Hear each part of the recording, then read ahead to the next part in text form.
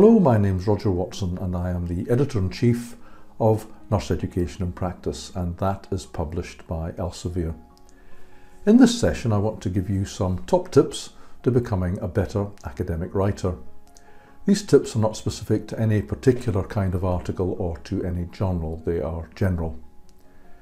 Whenever I speak to people about writing for publication and offering them my advice, I always start at the same place. I always say Write for a specific journal. Have a journal in mind before you start and aim to write in that journal. And therefore you must read the guidelines for that journal and I would also advise you to take a look at some of the articles in the journal just to familiarise yourself with the way that people write for that journal. In other words, what the editors want. Now clearly, uh, if you submit to that journal and you happen to be rejected, which does happen, you will have to start again and find another journal and the process starts again. So always have a journal in mind, read the guidelines for that journal and familiarize, familiarize yourself with the contents. When you're writing, always have a, a, a, plan in mind, not just a plan for the paper, but a plan for your writing. So the plan for the paper is that it should be organized and you should organize it under the headings and the subheadings given to you by the journal. They will give you a structure for each type of paper. Follow that structure.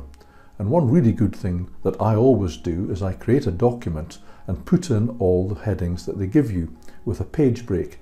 And then I start filling in under those headings. You don't have to start at the beginning and work your way through to the end. You can start anywhere in the paper.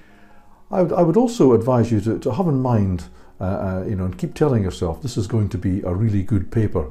Visualize yourself writing a great paper. And uh, you know don't don't make it mundane uh, don't make it ordinary don't make it like other papers.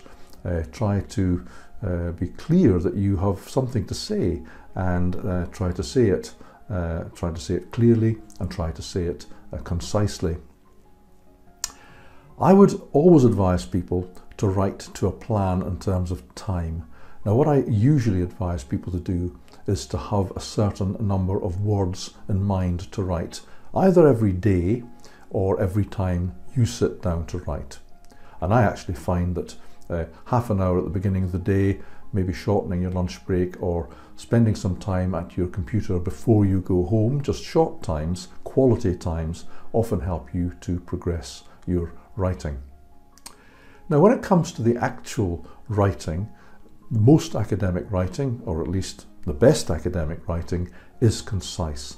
Try to use as few words as possible and try to convey your arguments as clearly and concisely as possible. Now, this may not be something that you can do as you write. I would strongly advise you not to worry too much about the final product as you are writing. I would get your ideas down and then go back and edit them later and make them concise. Uh, check the wording. Can you remove words? It's nearly always possible to remove words and uh, to use even shorter words and more clear and concise words. Try to avoid using uh, colloquialisms, everyday speech, idioms. Try to avoid cliches at all, at, at all costs. Try to use the active voice at all times. So avoid saying things like the researcher did. If you did it, say I did. If it's a team that you're writing with, we did. It's more direct, it's clear who did it, and it uses fewer words. So try to use the active voice. Another good tip for writing, uh, particularly in English, is to vary uh, the sentence structure and the sentence length. Clearly, you need sentences. They shouldn't be too long and they shouldn't really be too short and staccato. And then your sentences are organised into paragraphs, of course. But in terms of sentences, try to have some that are long and some that are short. Uh, if, if they're all very short, it's difficult to read. If uh, they're all too long, it's very difficult to understand. And what I like to think about is that your sentence structure is really like gentle waves on water. In other words, they should go up and down gently and help the person, give them a rhythm as they are reading through your manuscript. And uh, do try to uh, not to make your paragraphs too long.